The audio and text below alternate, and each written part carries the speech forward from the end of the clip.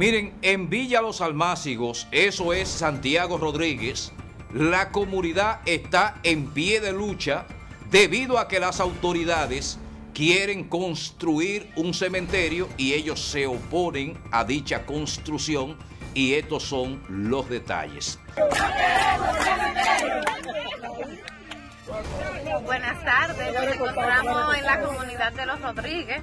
Mi nombre es Yubeli Plasencia Fernández, pertenezco a la Junta de Madre, al Centro de Madre de aquí de la comunidad.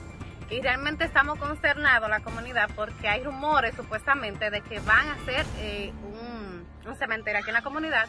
Y realmente entendemos que no merecemos eso, merecemos más.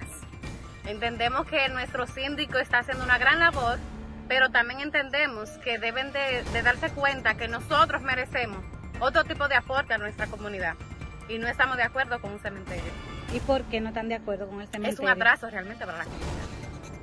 ¿Usted lo considera un atraso también? Eh, muy buena tarde a la comunidad, a la prensa, eh, profesor Chanel Tavares, también soy oriundo de esta comunidad. Para nadie es un secreto que nuestra comunidad carece de terreno para construcción. Y el mejor terreno que tenemos en la comunidad es este que tenemos aquí, al frente aquí, eh, para un gran proyecto de plan de vivienda. Nosotros estamos ubicados geográficamente a la orilla de dos ríos. La gran mayoría de tierras nuestras son de declive, no dan para construcción. La comunidad está totalmente en desacuerdo con un proyecto que está llevando a cabo, que es la construcción del cementerio en esta comunidad.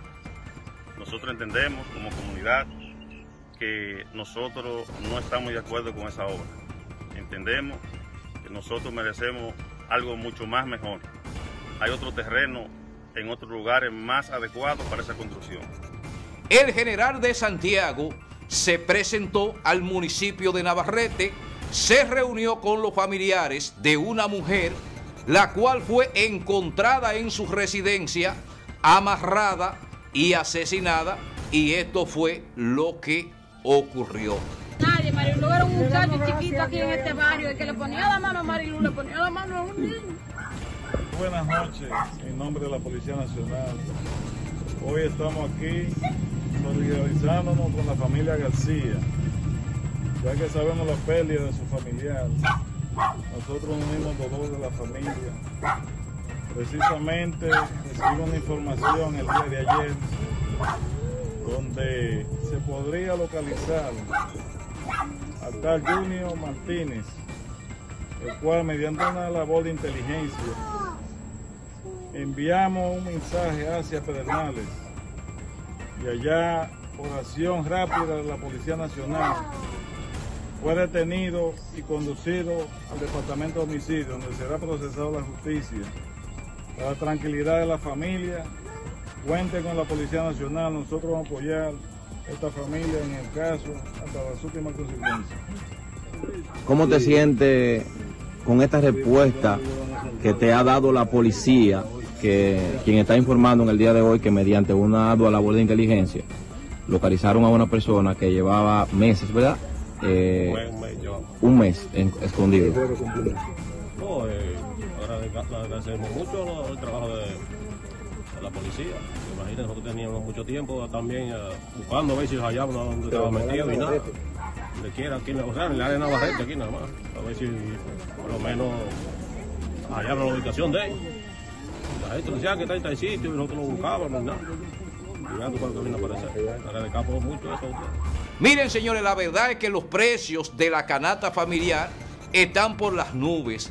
Esto se ha salido de control en todos los aspectos. Usted va a un supermercado, va a un colmadón, va a un colmadito y se presenta con la misma situación. Una libra de pollo se está cotizando ahora mismo 70, 80, 90 y hay lugares donde lo venden a 100 pesos. Desde que el gobierno anunció que cada jueves se vendería el famoso paquete, nosotros dijimos, mala idea. Porque la sociedad dominicana no solamente come un solo día. Si esa medida se aplicara a diario, muchísimas personas, muchas familias serían beneficiarias de esto. Pero lamentablemente el gobierno que como la mayoría de cosas ha hecho improvisadas, le han salido mal. Miren ustedes cómo esto se le ha salido de control. Aquí todos los supermercados tienen los productos por las nubes, el dinero se está devaluando, los seguros médicos han experimentado un alza y ante esto ninguna autoridad, ningún sindicato, ningún sindicalista ha dicho esto es lo que vamos a hacer para emprender una jornada de lucha, de protesta pacíficamente para que esto le pueda llegar a las autoridades y esto se pueda resolver. Lamentablemente debemos decir con voz fuerte que estamos ante uno de los peores momentos de la República Dominicana en todos los aspectos, pero peor decir que tenemos unas autoridades que lo único que están haciendo es improvisando y que no se dejan llevar de nadie, no se dejan asesorar porque es un gobierno de los popis, es un gobierno de los ricos, donde no hay ningún tipo de garantía para que los pobres y la clase media puedan salir adelante. Vamos a ver lo que dice la gente con relación al incremento a la libra de pollo.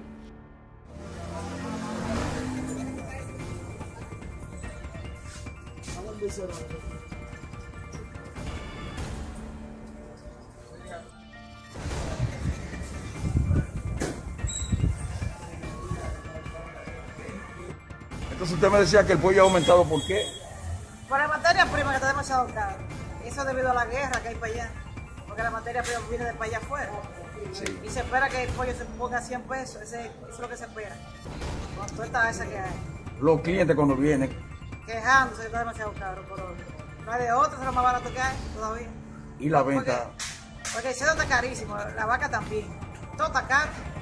Y la venta está media, media lenta, pero se vende ahí. Se vende. Ok. Hermano mío, en este negocio, ¿cómo está la libra del pollo? A 90. A 90 pesos. Sí, señor. Y los clientes cuando vienen a comprar, ¿no tiran el grito al cielo? Oiga, más lejos del cielo todavía. Toca el grito. Y la venta ha bajado mucho entonces Ha a ese bajado- precio. Sí, ha bajado un poco. sí. ¿Y qué usted cree que ha pasado? ¿Por qué se ha aumentado tanto el pollo? Es que el alimento está caro, ha subido. Sí, está caro el alimento también. Y pues y hay que hacer de pollo. Bueno, el pollo que la gente pone en una parte. ¿Usted cree que como sigue, como está esto, usted cree que, que llegará a 100 pesos la libre pollo? Lo más seguro que sí. Que llega a 100 pesos. A 100 pesos cree. A 100 pesos. Pero ahora mismo está a 90 pesos la libra. 90, sí. Está bien, hermano. Muchas gracias, hermano mío. Gracias, gracias. Hermano mío, en este negocio, ¿cómo te tiene la libra del pollo? A 90 pesos. A 90 pesos está la libra. Ajá. Y los clientes cuando vienen no tiran el grito al cielo. Ah, están gritando que lo que está caro, pero tienen que averiguar que los alimentos, lo, lo que, lo que crían los pollos, lo están comprando caro también.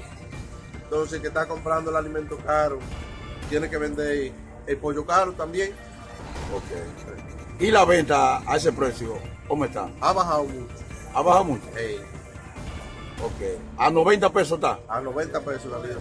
Está bien, muchas gracias, hermano mío. Está bien, ok.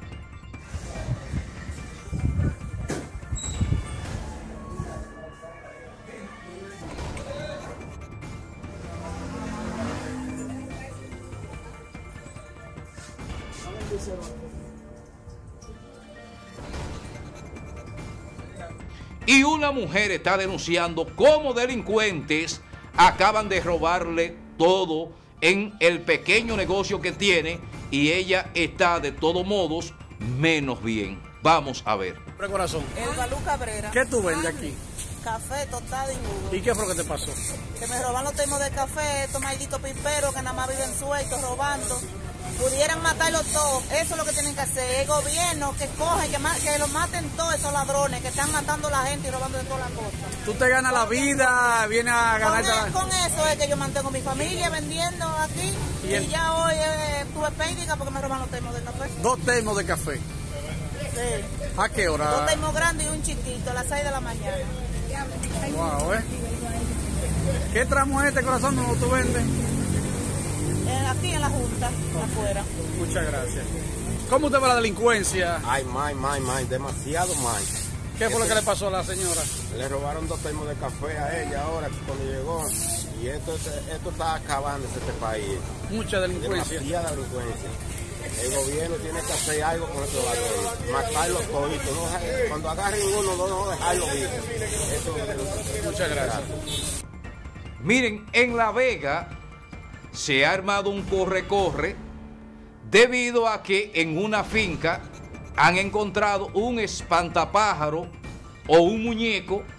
Supuestamente dice la gente que es una brujería y que un haitiano dijo que todo el que entrara a esa finca en dos meses moriría. La gente está alarmado. Usted sabe que este es un país de gente que cree en ese tipo de cosas. No todo el mundo, pero sí una gran cantidad de personas cree en brujería y por eso es que están alarmados. Vamos a ver lo que está ocurriendo en La Vega. Rafael, ¿cuál es tu nombre? Oye, Rafael, escúchame, ¿es cierto para qué ese, ese muñeco que tú tienes en un terreno, que tú tienes eh, plátano sembrado, para qué ese muñeco que está ahí? La gente tiene teléfono, hasta yo tengo un teléfono. ¿Cómo fue? No, nada, yo no puse eso. No, una vaina, eso no, no, una cosa seria. Yo puse eso porque yo va a tener miedo. Nada. Entonces la comunidad puede estar tranquila, realmente que eso no significa nada. Puede estar tranquilo aquí la comunidad de los bienes. Oye lo que dice el, el sector, oye lo que dice el sector, de que, que tú tienes esos puestos de que para que el que penetre al solar dure nada más de que dos meses de vida, que eso es brujería, ¿es verdad eso? No es brujería, yo eso. No es brujería. Ah, para que no penetren para que no penetren al solar. Sí, para que corrimiento una vaina seria, no. Es decir, tú no eres capaz de hacerle daño a nadie, ¿verdad? No. Ok. Entonces tú haces la aclaración realmente que eso no es, no es como dicen, no es como dicen. Eso no es cosa seria. Ok. Repítanos tu nombre. Dios te bendiga, hermano. En las charcas, un accidente de tránsito entre dos vehículos, personas heridas, gracias a Dios, nada humano que lamentar.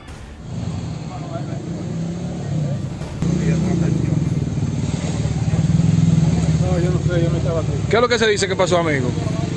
Parece que le dio como un infarto o algo, se durmió. Al chofer de la guagua. Estamos más heridos hoy. Carajo. ¿Es de, aquí de la comunidad? No sé, yo no lo conozco. ¿Accidente? No, no, por aquí hace tiempo no pasaba un accidente por aquí. ¿Y el chofer del camión? No, está bien, ¿Y la guagua? De la guagua sí está medio tropiado. Lo llevaron. Los viejos que se hicieron mal. Los viejos que se hicieron mal. Digo yo que los viejos que se hicieron mal, los viejos. ¿Él venía solo, el chofer de la guagua? Sí, sí, venía solo. Y no venía chateando nadie, venía, algo le pasó a la guagua o a él. Ese fue el herido. Ese es el herido, ese, ese es el chofer que venía en la guagua. Ese es. Déjalo No, no, ese es el chofer. ¿Cómo se llama? eh? Ahí se llama Almeris Espinal. Está, eh, o sea, está estable. Entonces, Sí, una pierna que tiene lesionada. Porque quedó atrapado. ok. ¿O ¿Dónde estamos aquí? ¿Cómo es esto? Estamos en la carretera Charca, más a Charca, llegando- llegando a la cooperativa San Miguel, próximo a la cooperativa, la cubita. Ok, gracias. ¿Va el nombre suyo, amigo? Luis Peralta. Te vas para comer, ¿cómo no eres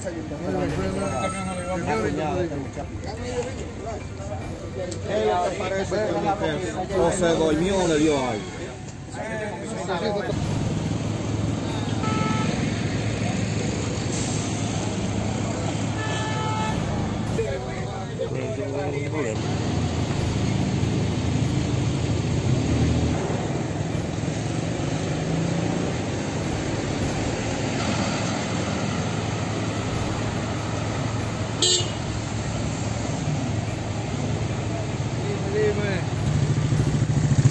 Miren, lamentablemente hemos llegado ya a la parte final de este programa teleinformativo semanal. A ustedes hay que decirle, hay que seguir orientándole, diciéndole que tenga mucha precaución cuando sale a las calles. Este es un país que no tiene ningún tipo de seguridad. Por lo tanto, quien tiene que asegurarse es usted. Lo que le ocurra a usted y a su familia solamente le va a interesar a ustedes y va a ser problema de ustedes, no de las autoridades.